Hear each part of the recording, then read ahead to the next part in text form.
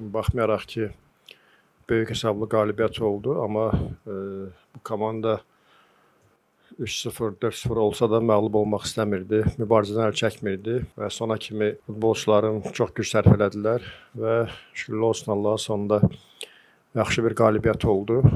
E, və azarkeşlərimizə təşəkkür eləmək istəyirəm. Belə gözəl atmosfer var idi stadionda yaratmışdılar.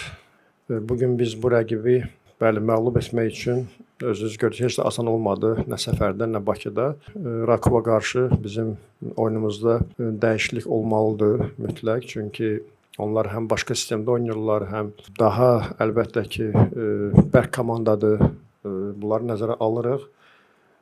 Amma öz proqramımızdan əl çəkmirik, öz proqramımız üzrə hazırlaşırıq və bilirik çox ciddi rəqibdir və qarşıda bizim bir 5 gün, 6 gün tam vaxtımız olacaq bu komandanı yaxından tanımaq üçün və e, inanıram ki, futbolçularım komandanı belə deyək, tam dərk eləyəcəklər və bu bu oyuna başda mən olmaqla hamımız yaxşı bir hazırlıq keçəcəyik.